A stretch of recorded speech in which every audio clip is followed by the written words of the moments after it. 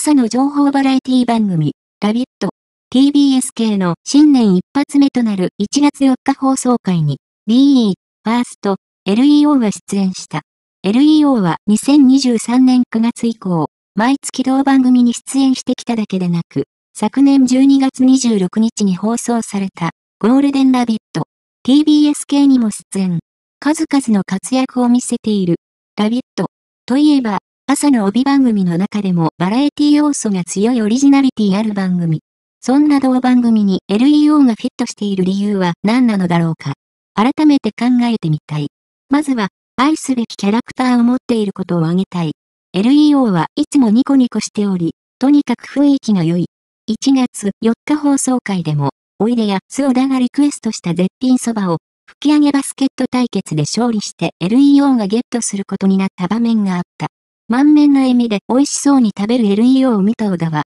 そばが食べられなくて、腹立ってましたけど、食べ方いいっすねとコメント。MC を務めるキリン川島名も、食べべっぷりがよくって、おごりたくなるやろ、と付け加えていた。また、末広がりず考案の、ジャンボハゴ板対決にもチャレンジし、全力で喜んだり悔しがったりしている姿が印象的だった。ゴールデンラビットの、かけっこリレー選手権では、周りの奏者に気を配ったり、番組キャラクターのラッピーをそっと褒めたたいたりと、とにかく見ていて気持ちがいい。そんな LEO の人柄が愛され、番組出演につながっているのだろう。そして、持ち前のセンスがあることも理由の一つではないだろうか。同番組はバラエティ要素が強いが、故に、様々なゲームにチャレンジすることも少なくない。1月4日放送会では、ニューヨーク屋敷優勢からテトリス王の称号を奪うべく、テトリス対決が行われ、LEO は予選会を勝ち抜いて決勝へ進出。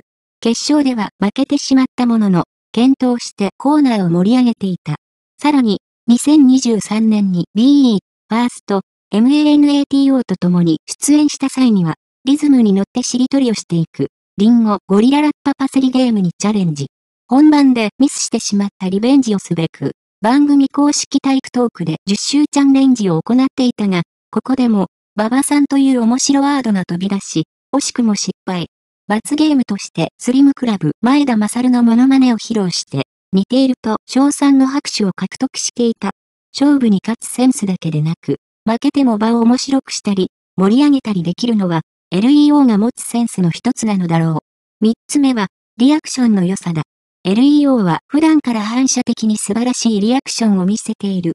例えば、BE、ファースト公式 YouTube にアップされている、新年、BE、ファーストカルタ大会、U、RE マイ、BESTY、45。メンバーがカルタを楽しんでいく中で、SOTA から映画みたいにスローモーションで撮ってみようという提案があった。しかし SHUNTO がそれを無視して普通の速さで札を取り、その瞬間に LEO が、お前さ、約束したろ、今、と瞬時に突っ込みを入れていた。さらに、昨年3月に、ベヌー101 NHK 総合の公式 X にアップされた BE ファーストバランス力ナンバーワン決定戦でもナイスリアクションを披露。動画には片足立ちでバランスを取る JUNON をどうにか倒れさせようと妨害するメンバーたちの姿が映っていたのだが、途中 SHUNTO がクラッカーを鳴らすと、JUNON ではなく LEO がオーバーリアクションを見せて、笑いが巻き起こっていた。